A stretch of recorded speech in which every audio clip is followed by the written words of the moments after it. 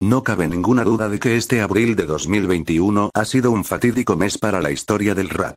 A la tristísima pérdida de DMX, tenemos que sumar ahora la del icónico Black Rock, cuyo nombre real es Robert Ross, una de las ex estrellas de Bad Boy Records que se hizo popular en todo el mundo con el single WA. Según el manager neoyorquino Van Silk, Black Rock nos dejaba hace solo unas horas en un hospital de la ciudad de Atlanta. Aunque no se han detallado las causas exactas de su muerte, sabemos que durante los últimos años había sufrido una serie de graves accidentes cerebrovasculares. El rapper nos dejaba con solo 51 años. Muere Black Rock. La segunda dura pérdida para el hip hop en un mes, aunque se dio a conocer en todo el mundo en el año 2000, lo cierto es que Black Rock comenzó a rapear en su Harlem natal con solo 11 años. Una edad tan temprana que tampoco nos extraña que acabara triunfando. Aunque formó parte de un grupo con el que no editó ningún trabajo profesional, fue al ir en solitario cuando empezó a tener éxito. En 1996 fichaba por nada más y nada menos que Bad Boy Records y de ese modo lo oímos en colaboraciones junto a 112, Total, Fight Evans, Mase, Puff Daddy e incluso Notorious Big.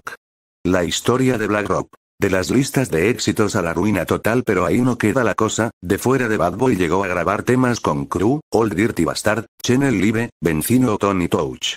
Es decir, muchos de los más grandes del negocio en la costa este en los años 90. Fue en 1999 cuando tuvo su primera oportunidad con un álbum en solitario, aquel más que decente Life Story, que gracias al single WOA. Producido por Buckwild de los icónicos Diginin de Crates, hizo que el disco casi llegara a platino. No hace falta decir que aquella canción fue una de las más sonadas del año 2000 e hizo a Black Rock mundialmente famoso para los fanáticos del hip hop.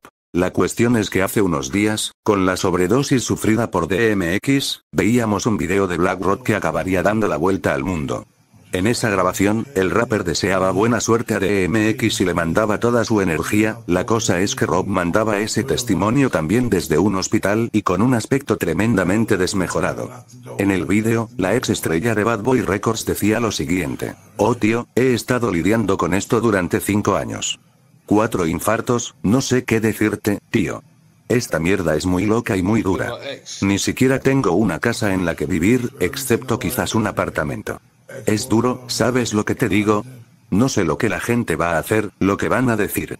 Solo necesito descansar, de verdad, tío, solo descansar.